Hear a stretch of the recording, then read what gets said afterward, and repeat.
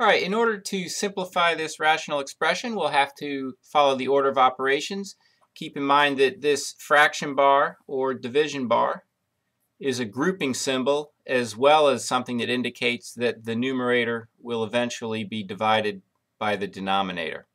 Okay, so up top we have a negative 6, negative 4 times a negative 2. By default this is addition or subtraction. This is definitely multiplication because you have a number next to a grouping symbol next to parentheses. So negative 4 times negative 2 yields a positive 8. Usually when you write positive 8 you don't worry about putting a plus sign or a positive in front of it. Um, but look what happens if you don't indicate that. Once I've decided what to do, that's the first thing I write on the next line.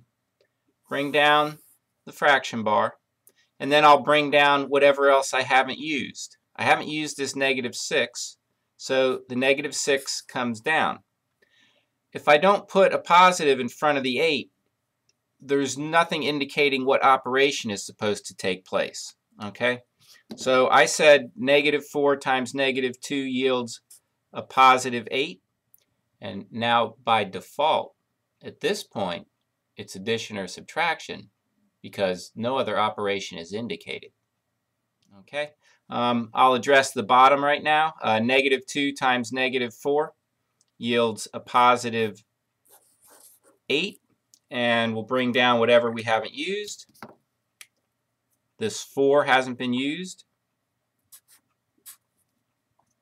And then for our next step, um, in the numerator, the signs are different. We subtract, keep the sign of the larger. So we get 2.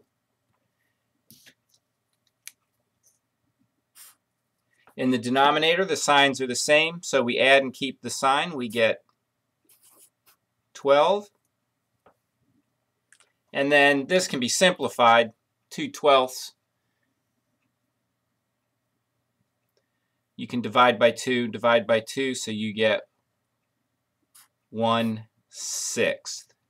Might be coming off the screen a little.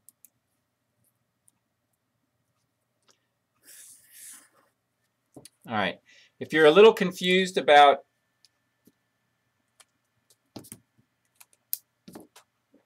the step I took here where I said that's a negative 4 times a negative 2, yielding a positive 8, um, if you want to understand how I'm reading that, I have a video that does explain it. Slide this in here. If you go into Blackboard and you look for um, the button over here on the side, I know you can't read it. It says Unit 1 Worksheet and YouTube. That's what the button is. You click on that and then the video is right here. And again, I know you can't read that, but it says video introduction to integer sum and difference of two numbers and many numbers. Basically, I explain how to read the shorthand of mathematics so you can understand that addition or subtraction is indicated by default. Um, if you don't want to go that route, if you had said that it's just 4 times a negative 2, you would get positive times a negative. That would be negative 8. And then you would bring down whatever you hadn't touched. Well, in that case, you wouldn't have used that negative sign or minus sign. Those words are interchangeable. And you wouldn't have used the negative 6. Um, I don't know how you prefer to proceed from here, but you've got two negative signs. So one way or another, this numerator is going to end up with the same operation it's indicated here. When you put these two numbers together, you're going to get a 2. All right, and I'll just help you out as with the denominator as well. If you just said 2 times negative 4, you would have negative 8 and then you would bring down whatever you hadn't touched, that negative sign or minus sign if you prefer. And then you would also bring down the 4.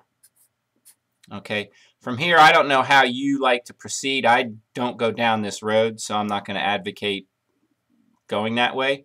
But from here to the next step, you would still get a positive 2 and a 12. And obviously 2 twelfths would reduce to 1 sixth.